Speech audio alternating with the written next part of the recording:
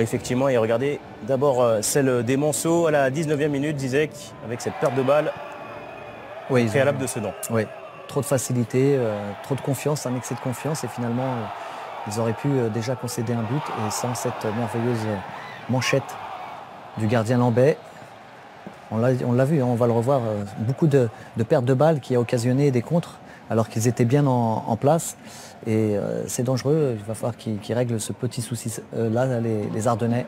Magnifique arrêt en tout cas de Lambé. Et puis derrière, regardez, 33e minute.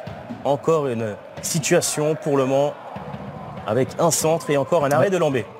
Superbe. Euh, costaud, un Macalou euh, qui fait le ménage autour de lui, qui prend une belle détente verticale et finalement c'est Lambert encore qui est très concentré sur sa ligne. Et puis derrière, la possibilité de marquer pour euh, l'excellent Bekeshi. Côté Sedan, sa frappe va être cadrée mais repoussée. Vous voyez, bon, euh, Maxence Dorien a le- a l'intelligence de, de continuer à lui mettre la pression derrière et finalement il est, euh, il est obligé d'aller chercher.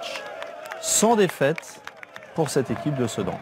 Ouais, Sedan qui a su se montrer patient et marqué donc en début de seconde période avec euh, ce but contre son camp tout simplement d'Alexandre Lauré. Oui, oui, oui. Patron qui, se- qui anticipe euh, une sortie, puis l'alignement défensif hein, derrière qui, euh, qui euh, empêche euh, Bekishi d'être hors jeu parce que justement il n'y a pas la bonne lecture, il n'y a pas la bonne prise d'information. Et tout au long du match, ça a été comme ça. Et puis derrière, Sedan qui va finir par marquer un deuxième but avec son milieu de terrain, la locomotive Missiatou. Ce but, il est très clairement euh, pour lui. hein. Oui, il a oui. tout fait tout seul, Zizek. Bien sûr, il fait tout seul, mais le, le ballon est sorti aussi proprement de derrière. Et ensuite, elle se retrouve sur, un, sur euh, le, le couloir et lui, il prend, il prend sa chance. Là, le, avant, le ballon était très bien sorti. Puis là, physiquement, il est costaud, il tient debout.